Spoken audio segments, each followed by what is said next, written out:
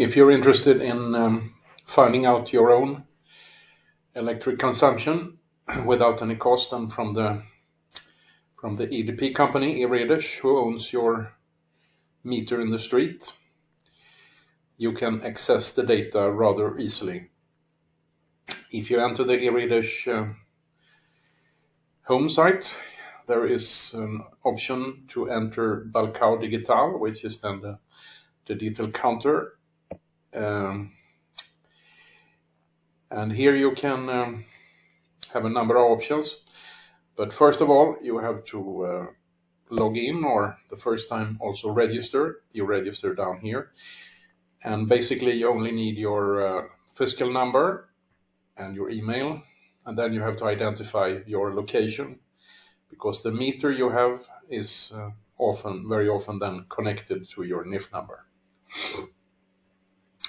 And if you if you've done that, you can then uh, here on Balcão Digital tell them that you are a particular, you are an individual person, and then enter your NIF number and your password that you created in the regist registration. And then you can enter the system.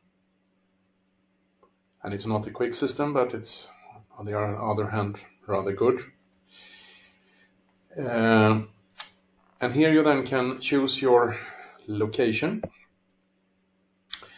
and then you can tell them that you want to see your production data, Produção Consumos Potências. If you click that, you have three options, and the option that you want to choose then to see the history is Consultar Histórico. And then you choose your location. Uh, and then by default, you get the data from the month that you're in. And you see the consumers from January 2023. It takes a while for them to bring out the data that you have.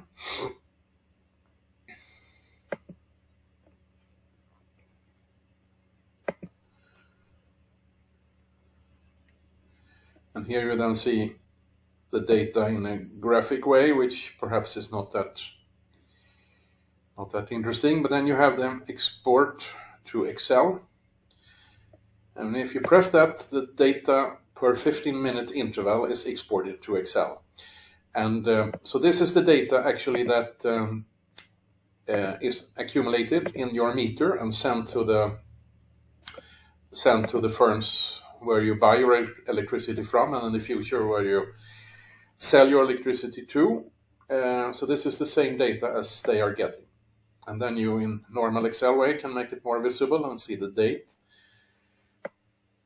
and what time it is and as this is rather much data you have to make the usual preparations in Excel to freeze the panes in order to be able to scroll down and then if you're interested in uh, seeing the data in a more visible way. You can, of course, use the normal Excel. There are a number of options, probably have used, used many before. For instance, you can colorize them uh, to see uh, the data where the red data is then the your high consumption periods and the green one the low ones. Uh, and uh, when you have started to be an electric producer, you also get a column called Produção.